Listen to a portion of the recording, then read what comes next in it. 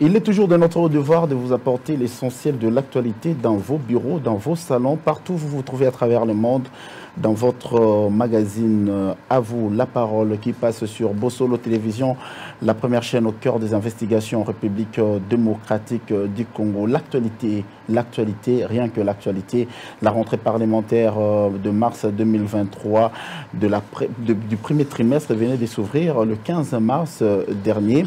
Autant de questions, la situation sécuritaire, on en parle, la situation électorale en République démocratique du Congo, mais également le dialogue qui se disent dans le couloir politique en République démocratique du Congo. On ne sait pas où nous sommes, où allons-nous, mais ce qui est sûr, le pays s'est tourné résolument vers euh, les élections et aussi la pacification de la partie est de la République démocratique du Congo. Autant des sujets que nous avons toujours le privilège de vous présenter au cours de ces magazines. À vous la parole. Il était passé euh, dernièrement dans cette tribune, il est revenu pour des questions d'extrême importance. On parle du Congo. Le Congo, c'est notre Congo et c'est ces Congo-là que nous mettons tout notre cœur. Jean-Luc Bekama, libre penseur aussi, analyste des grandes questions politiques, des questions qui touchent sensiblement la nation congolaise. Il revient sur dans notre tribune pour échanger avec nous en bâton rompu. Monsieur Jean-Luc, bonjour et bienvenue. Merci, bonjour à vous toujours un grand privilège de vous recevoir dans cette tribune d'avoir la parole sur Bossolo Télévision. Votre dernière prestation euh, nous a vraiment euh, fait du bien et c'est pour cela on a toujours voulu faire recours à vous parce que on sent la crème intellectuelle, politique et aussi quelqu'un qui connaît la République démocratique du Congo sur toutes les questions et surtout le crise qui a secoué ces pays de Lumumba, de Kassavoubou, de Mosé Laurent Désiré Kabila, de Félix Tshisekedi, Chilombo. Comment vous vous sentez? Non, non, très bien, très bien, euh, physiquement, mais aussi pas très bien dans la mesure où euh, le pays traverse des moments euh, extrêmement difficiles. Et ça nous fait mal. Ça nous fait mal dans la mesure où on ne peut pas être obligé de vivre des conditions que nous vivons aujourd'hui avec un pays euh, euh, qui est sous-riche, avec une population euh, de cette taille.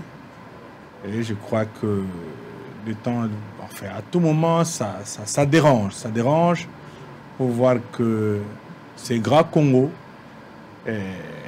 n'arrivent pas à se relever à cause de ces problèmes multiformes qui nous accablent. Et ça fait effectivement très très mal au cœur. Alors aujourd'hui, si le Congo était un homme, quelle partie souffre de plus? Si c'était un homme qui est malade, c'est quoi la partie qui... Moi, je crois que si on, pouvait faire cette, cette analogie, euh, le Congo a mal à la tête, le Congo a mal aux pieds, le Congo a mal au cœur, le Congo a mal à l'estomac, au bras. Il y a pas mal de choses dans la vie de notre pays qui posent problème. Il y a pas mal beaucoup de difficultés. Situation sécuritaire à l'est du pays. Aujourd'hui, on pourrait peut-être vous donner raison quand vous avez parlé qu'il fallait démasquer le tête et les infiltrations au sein de, de, de FRDC et des forces loyalistes. Aujourd'hui, euh, la situation ne semble pas forcément évoluer malgré les efforts consentis et aussi des accords signés avec euh, les organisations régionales. On a l'EAC, mais on sent comme s'il y a un blocage quelque part. Qu'est-ce qui, qu'est-ce qui est à la base de ces blocages? Bon, moi je crois que la fois dernière, quand on a discuté de cette question, j'avais clairement dit que la clé de la victoire d'une guerre reste la maîtrise de l'information. Et lorsque les informations à votre niveau sont fruitées par des personnes qui sont considérées espions ou infiltrés, vous aurez effectivement du mal à pouvoir gagner cette guerre. Et donc aujourd'hui, on ne peut pas dire que les choses n'ont pas évolué. Non, non. Il y a quand même une certaine prise de conscience et le travail est en train d'être fait. Parce qu'aujourd'hui, tous les Congolais se sont réveillés et les Congolais ont compris qu'effectivement, il y a beaucoup d'infiltrés, ce n'est pas seulement dans le secteur sécuritaire ou dans l'armée, dans beaucoup d'autres secteurs de la vie nationale. Et je crois que on n'y est pas encore arrivé totalement, mais au moins il y a euh, quelque part un démarrage. Et nous espérons qu'on pourrait éventuellement y arriver. Pour euh, la question de, si je peux revenir en arrière, mais le problème c'est que cette question de d'extirper les infiltrés doit se faire de manière vigoureuse. Mhm. Ça ne doit pas se caresser. Ça ne doit pas se caresser. Ce sont des choses qui doivent prendre une vitesse, une certaine vitesse, mhm. dans la mesure où euh, les agresseurs n'attendent pas. Ceux qui comptent nous maintenir dans cet état d'imbroglio et de souffrance et n'attendent pas. Donc nous ne devrions pas attendre. Nous devrions, en principe, accélérer de notre côté, car nous savons que parmi les difficultés que nous connaissons, il y a entre autres le fait que l'ennemi nous ait infiltrés au plus haut point. Donc nous devons agir efficacement et vite pour pouvoir effectivement mettre hors état de nuire tous ceux qui travaillent pour l'ennemi. Mais avec quelle armée? Une armée qui vient à peine d'avoir un, ouf de soulagement avec le management du président de la République, Félix-Antoine Tshisekedi, qui a euh, arraché euh, euh, la levée de l'embargo au niveau du Conseil de sécurité de l'ONU. Aujourd'hui, le pays est quand même à même d'acheter des armes pour contrer toute force négative qui écume la partie est du pays, mais également le territoire national congolais.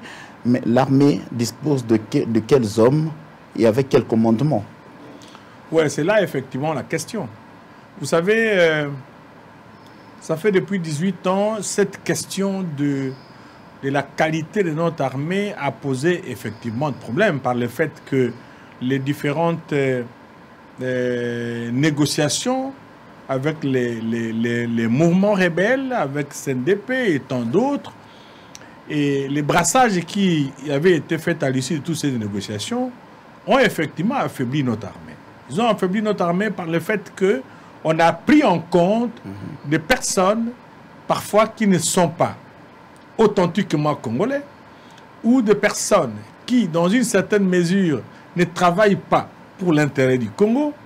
Et aussi, on a, dans le brassage, on a pris des gens qui avaient des niveaux de soldats à qui on a donné des grades, des grades d'officiers supérieurs et qui ont évolué.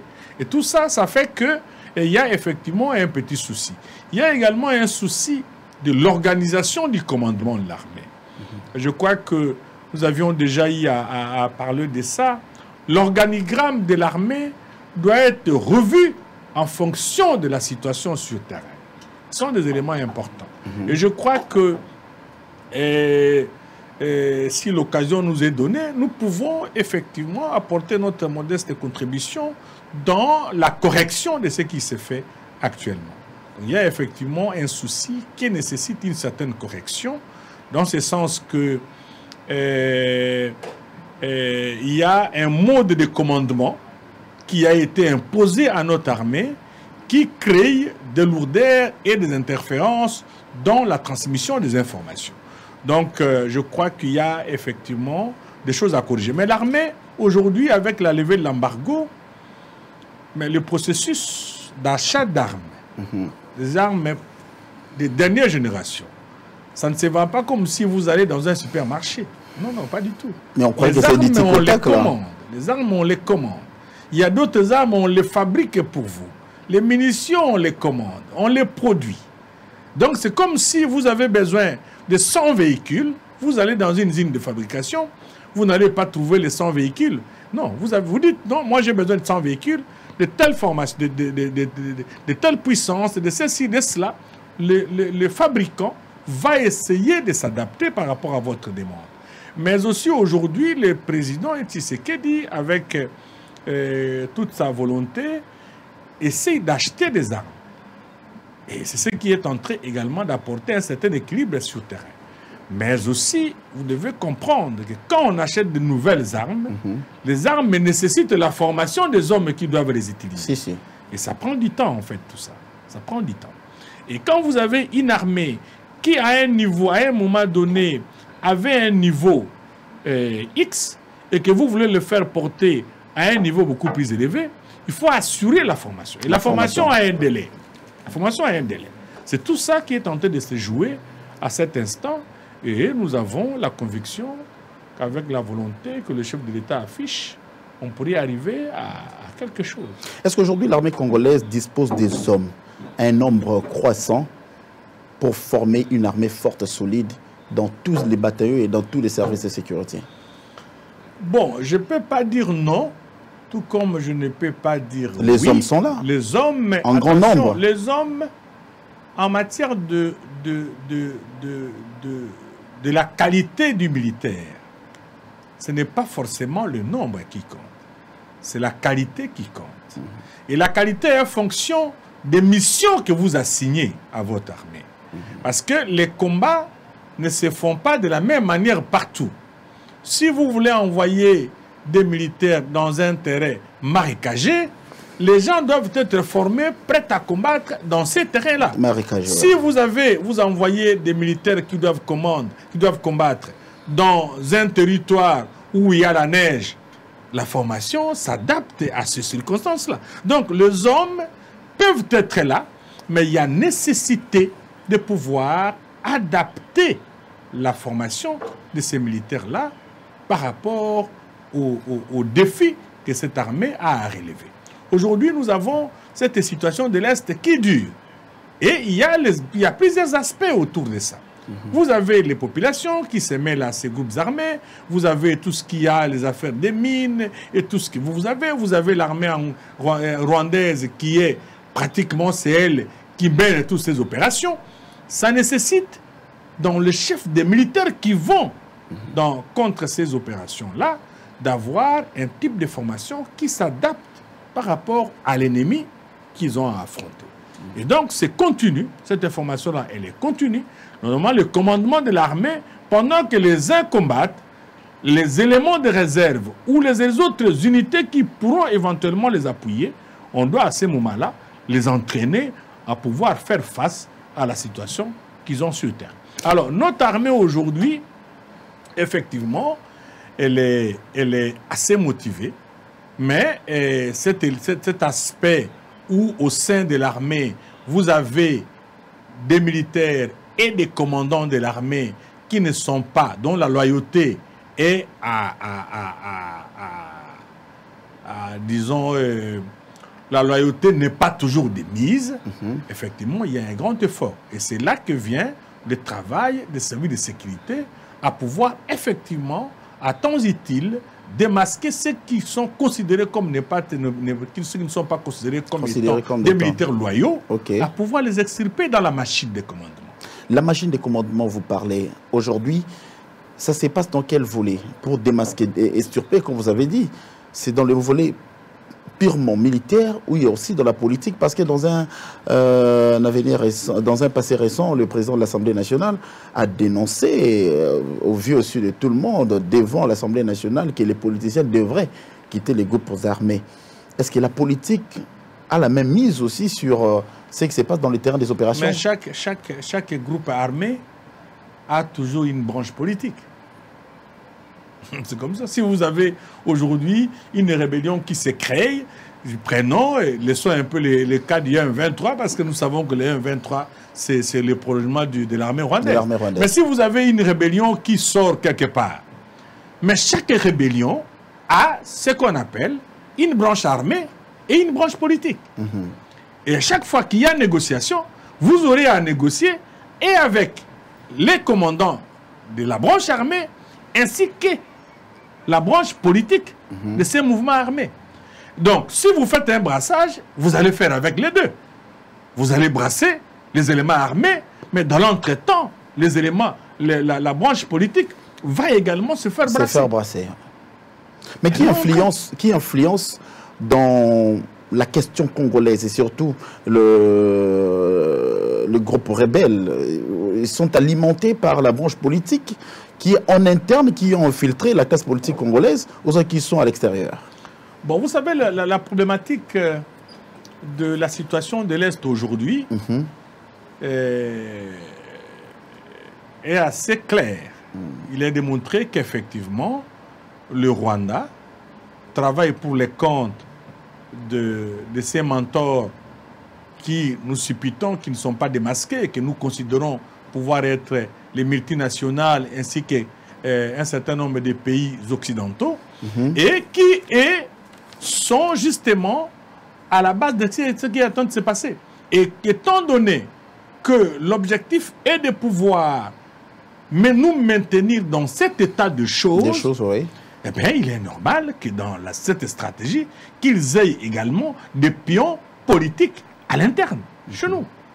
Ils ne manquent pas. Ils sont nombreux. Ils sont nombreux dans l'armée, en politique. Ils sont nombreux. Et ils agissent.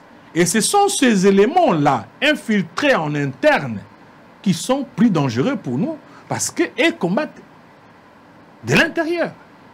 Aujourd'hui, je, je prends un cas, euh, un cas le plus euh, patent, c'est l'arrestation du, du député national, euh, Edouard euh, Mongachouchou, qui est soupçonné de plusieurs faits.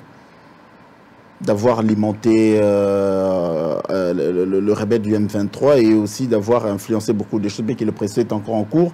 On n'a pas encore livré les, con- les conclusions de ces procès. Au regard de ces masques qui est tombé, comment on peut démasquer au sein de la classe politique pour dénicher le vrai du faux Bon, vous savez, euh, le cas du député Mona Chouchou, bon, c'est un cas malheureux. C'est un cas malheureux s'il s'avère que c'est les faits, les faits qu'on lui reproche sont vrais. Vous comprenez? Et ce sont les services de sécurité qui sont arrivés effectivement par rapport à ce qui s'est passé dans ces mines, ainsi de suite, ainsi de suite. Mais aujourd'hui, nous attendons à ce que le procès nous donne des éléments euh, beaucoup plus plausibles sur son implication. Mais cela n'empêche que cela soit considéré comme étant une indication. Une indication qui permet justement à nos services de pouvoir suivre les ramifications qu'il y a de façon à ce que, avec un travail de fourmi, que nous puissions petit à petit arriver à démasquer ceux qui sont dans ce coup macabre contre la République et que nous puissions les mettre au état de nuire.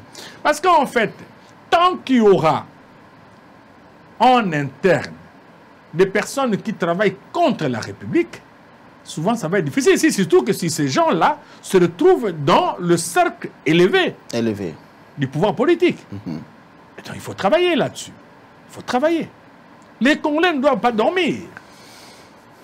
Malheureusement, les Congolais euh, se lancent beaucoup plus dans les spéculations, dans, dans, dans le, dans, dans le verbiage. Là, le verbiage. Les gens aiment parler. On a arrêté le député Edouard Monachouchou. On lui reproche un certain nombre de choses. Mais le procès lui-même n'a pas encore eu lieu. Mais nous là, nous, là, on est en train de jubiler à gauche, à droite, on raconte des choses. Mais sans que nous puissions réveiller nos propres consciences en, disant, se disant est-ce que Monachouchou est seul? Mais s'il a des ramifications, qui sont-ils? Quel rôle il joue dans la situation qui nous arrive? C'est ça le travail. Et c'est ça qu'elle, c'est la réflexion qui doit être effectivement, euh, qui doit être portée par les Congolais. Mais on a l'impression comme si le chef de l'État euh, euh, euh, se bat seul. Il a Bon, des moi, initiatives. Moi, moi- moi, j'ai toujours dit que euh, les Congolais sont dans ce que nous appelons souvent un peu moté mamabé. Hmm. Le Congo, c'est notre pays à nous. Les hommes arrivent et passent. Aujourd'hui, nous avons le président Tshisekedi comme président de la République. Le pays est agressé. Et cette agression, elle est d'autant plus dangereuse que ça nécessite de la part de tout Congolais une certaine veille. Malheureusement, beaucoup de personnes pensent que c'est une affaire que Tshisekedi doit régler tout seul. Non, le président Tshisekedi ne peut le régler qu'avec le concours de tout le monde. Et il y a des gens qui pensent qu'aujourd'hui, si le président Tshisekedi a des difficultés ou le président Tshisekedi avance dans le rythme qui est le sien aujourd'hui, il se bat. Parce que c'est, il se bat contre ce qu'on appelle un dragon à plusieurs têtes. Il y a plusieurs problèmes. On a le terrain militaire, on a également le terrain politique. Depuis que le président Tshisekedi essaye de parler, il y a quelques langues qui commencent à se délier au niveau international. Mais les alliés de, de- de Kagame refusent de condamner le Rwanda. Comme la France et France, la Grande-Bretagne aussi. Grande-Bretagne, Ouais. beaucoup de pays. Même les États-Unis, ils ont dit, mais c'est un peu, un peu, un peu, euh, pas aussi, pas aussi clair. Pas aussi clair. Mais qu'est-ce qu'il y a Et donc, c'est pour dire justement que le, le, le, combat pour la libération de la RDC, c'est un combat assez difficile, un grand combat. Et quelqu'un ne peut pas se réveiller chez lui pour dire non, non, non, si moi je remplace le président Tshisekedi d'aujourd'hui, je vais balayer ça. Non, ça c'est des, ça c'est, ça c'est, ça c'est nous vendre ce qu'on appelle les vents. Mhm. Vous allez nous vendre les vents. La situation est difficile. La situation, elle est, elle est, c'est une situation qui nécessite le réveil de tous les Congolais. Mais malheureusement, on est loin de là. On est loin de là. Les gens devraient aujourd'hui apporter leur pierre d'édification dans la manière dont nous devrions bouter dehors l'ennemi.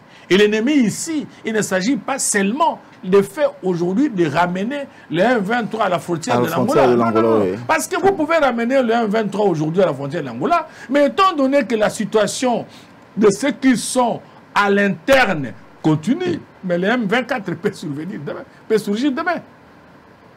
Parce que les appétits de ceux qui, ceux qui sont venus, de ceux qui viennent chercher, sont toujours là. Ces besoins sont toujours là. Nos matières sont toujours là.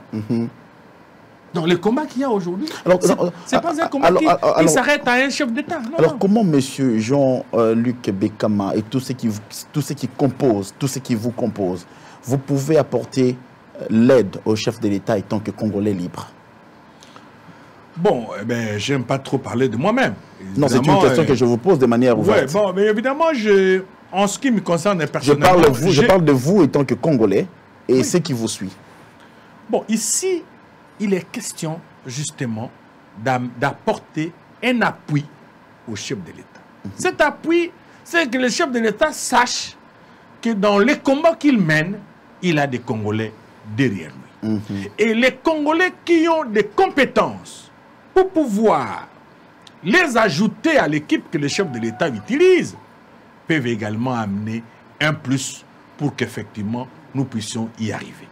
Plus dans la réflexion ou soit dans le fait. et dans la réflexion et dans l'action. Et dans la réflexion et dans l'action. Prenons la réflexion. Bon, la réflexion, ben, je peux dire aujourd'hui, moi, je me considère comme étant un expert. Je prends mon cas. Je peux apporter un plus sur la réflexion en matière de stratégie sécuritaire. Je peux les apporter. Dans l'action. C'est ce que nous disons dans, dans la réflexion. Vous avez parlé de la réflexion et dans l'action. Bon, dans l'action, il faut, avant d'arriver dans l'action, il faudrait que le chef de l'État accepte d'amener dans la machine d'autres personnes qui peuvent ajouter un plus dans ce qui est tenté d'être fait. Donc il faudra d'abord partir de la réflexion. Il faut partir de la réflexion. Parce qu'il doit d'abord accepter lui-même. Ok. Il doit, il doit accepter qu'il y a également d'autres Congolais qui peuvent apporter un élément supplémentaire dans l'action qu'il est en train de mener. Et actuellement, dans le sillage, il y a, il y a de- il y a des éléments qui manquent, qu'il faudra apporter. Mais Des réflexions qui manquent pour euh, euh, sortir de cette crise. Non, mais lorsqu'on va au combat, tous les volontaires compétents et capables de combattre avec vous et qui sont disponibles, il faut les amener. Il faut les amener. Quand vous allez dans une bataille et que des gens vous disent, nous pouvons vous accompagner dans cette bataille-là. Si les personnes sont compétentes et volontaires, loyaux, il faut les amener. Monsieur Jean-Luc euh, Bekama, notre invité de cette tribune, à vous la parole. Euh, Nous parlons de questions qui, qui touchent sensiblement la nation congolaise dans les domaines économiques, sécuritaires et aussi politiques. Aujourd'hui, euh, de plus en plus, ça se raconte, ça se chichote dans le couloir politique, un éventuel dialogue. Aussi longtemps, le processus électoral a été déjà enclenché par la Commission électorale nationale indépendante, par l'enrôlement des électeurs. Pensez-vous que ces tableaux pouvaient être peints et que nous allons dans un dialogue? Bon, je crois que je m'étais déjà exprimé ici euh, sur la question. Sur la question. Le problème est d'autant plus complexe dans la mesure où nous avons besoin des élections. C'est vrai. Pour moi, en tant que légaliste, je souhaite qu'il y ait des élections. Mais il y a un élément qui dérange aujourd'hui en plus, c'est euh, cette agression. Cette agression qui n'est pas moindre. Cette agression qui n'est pas moindre parce qu'il ne s'agit pas de l'agression d'une petite rébellion. Il s'agit d'une guerre que nous menons contre le Rwanda. Et quand on est logiquement en, période de guerre, comme la guerre qui... vous, savez qu'aujourd'hui, l'ennemi n'est pas très loin de Goma. N'est pas très loin de Goma. L'ennemi n'est pas très loin de Goma. Et donc, tout peut arriver. Mais alors, est-ce que faut-il que nous puissions considérer que si par l'impossible, nous ne pouvons pas tenir les élections, bon, peut-être que le chef de l'État va être obligé de pouvoir composer avec la classe politique pour pouvoir négocier la transition. Mhm. Ça, c'est aussi faisable. Mhm. C'est aussi faisable. Pour quelle fin? Bon, mais tout simplement... Est-ce qu'une transition peut amener la fin de la guerre? Pas du tout. Et ça sera pour quelle fin? Ça sera dans quelle fin? Pour quelle fin? Bon, mais le problème, c'est que si, de manière constitutionnelle, le, les mandats s'arrêtent au mois de décembre 2020, 2023, euh, disons, et si la date de la personne de serment est du mois de 23 janvier, je crois. Janvier, oui. Oui, mais étant donné qu'il y aura une période d'après les mandats du chef de l'État, il va être obligé de négocier avec la classe politique. C'est une démarche qui est tout à fait logique. Mais moi, je pense que eh, eh, ce sont des hypothèses dans la mesure où on ne sait toujours jamais la situation de la guerre dans les jours qui viennent. Ce sont des choses imprévisibles. Est-ce qu'il y a des indices qui pourraient euh, démontrer euh, la non-faisabilité des élections en RDC, à votre humble avis Bon, moi je crois que, vous savez, la, guerre, c'est l'argent. C'est l'argent. Mhm. Vous ne pouvez pas prétendre combattre. Nous avons eu la levée de l'embargo. Mais quand on a levé de l'embargo, il faut acheter des armes. Si, si. Ça demande énormément de millions énormément de millions. Les munitions coûtent cher, les bombes coûtent cher, les armes coûtent cher, la logistique de la guerre coûte très cher. Combiner les finances qui doivent soutenir la guerre et les finances qui doivent aller aux élections, il y a un souci. Je ne sais pas, dans les conditions actuelles, si la RDC peut être capable de ça. Mais je pense qu'il y a, à un certain niveau, il y aura une option qui doit être élevée. Dans votre avis, si je vous comprends bien, la priorité des priorités pour l'instant serait d'abord de finir avec la guerre plutôt que d'embrasser un processus électoral qui sera entaché des irrégularités. Le, processus électoral est constitutionnel et devrait être fait dans les délais. Dans les délais. C'est là, personne ne le conteste. Mhm.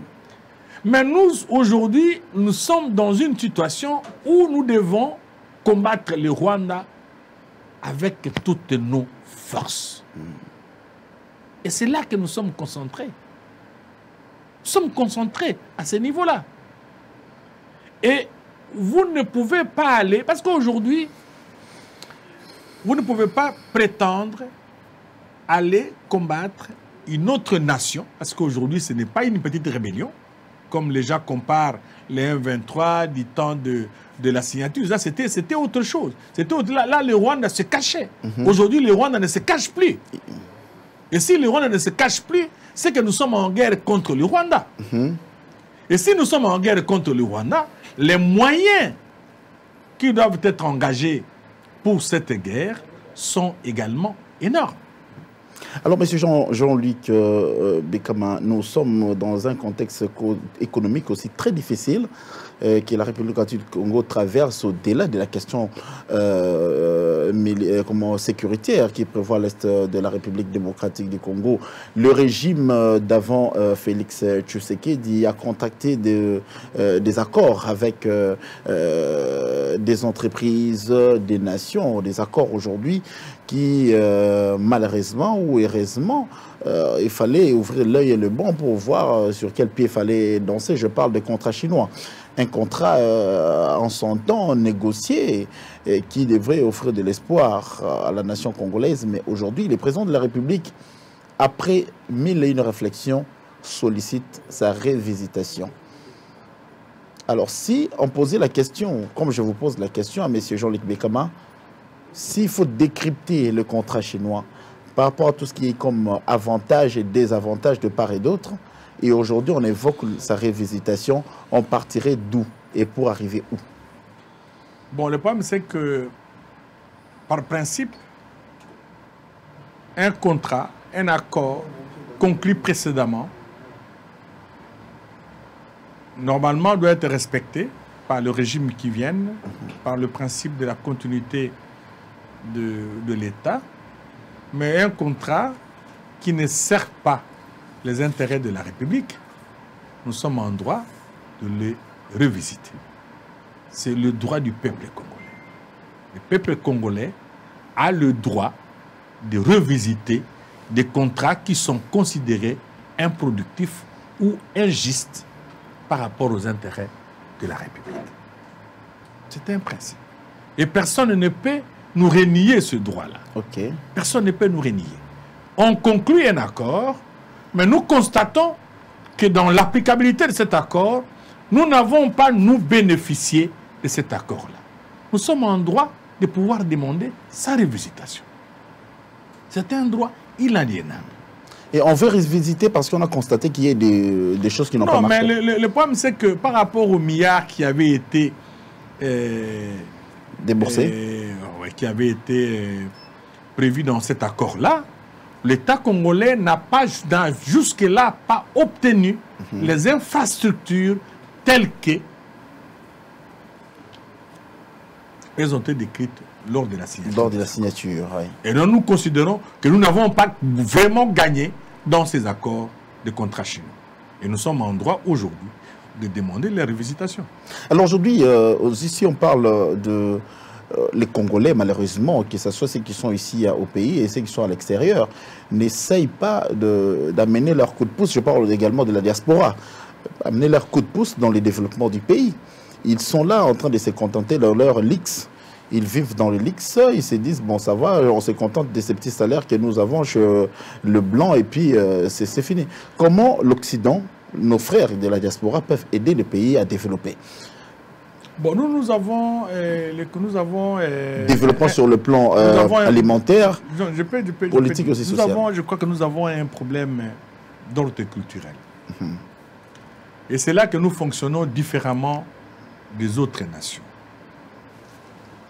Nous avons une très grande diaspora à travers le monde.